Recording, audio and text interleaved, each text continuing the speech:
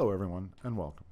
Today I'd like to walk you through the process of using Omniverse Web for converting your FBX files into the Omniverse Cloud.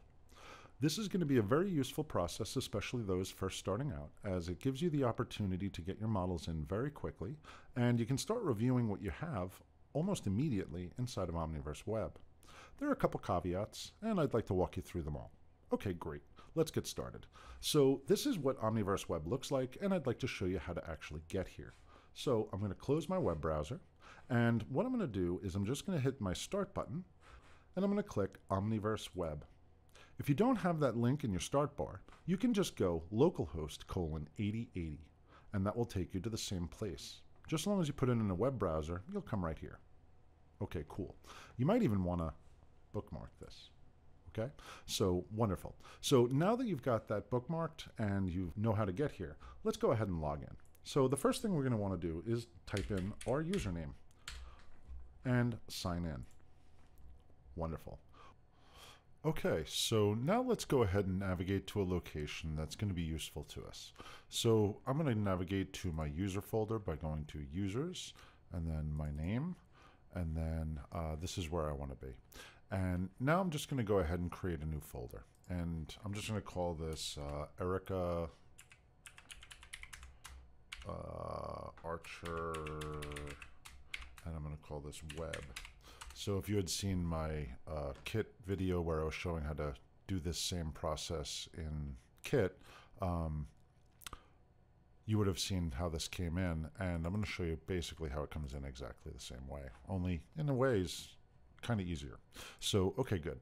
So now I'm just going to go ahead and drag my FBX of Erica Archer into uh, the uploader, and it's going to give me this option dialog just like before.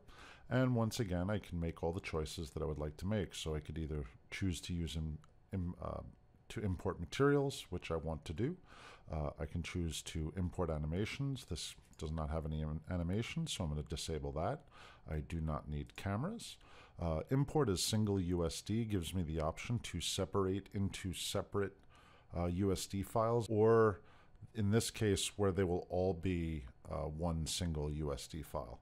So that's kind of your preference, whether or not you want uh, multiple USDs to comprise of your scene or just the single USD. Um, I'm going to leave it as single USD this time. Uh, and we can also go ahead and generate smooth normals, which is for the most part always going to be wanted. Uh, export preview surface, I do not need, and support point instancer, I do not need. So I'm just going to go ahead and upload and convert.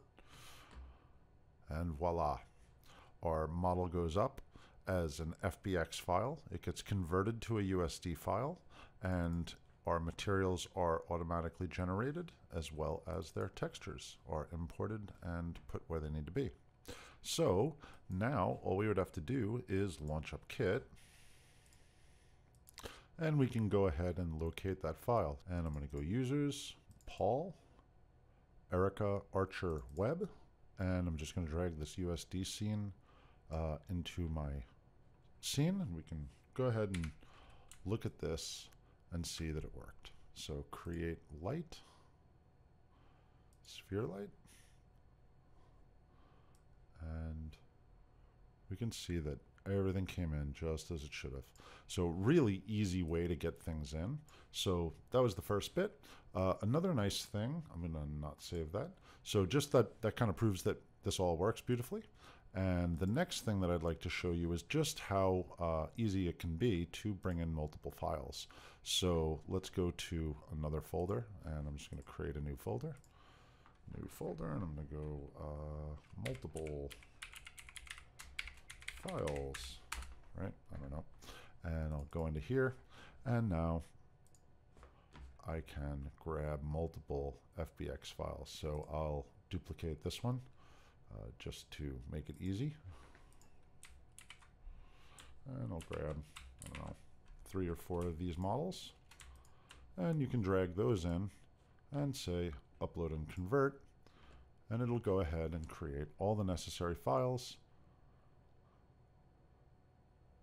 And what's kind of nice is, as you can tell, the materials have populated with the correct instancing. So we don't have a bajillion copies of materials and animations and everything.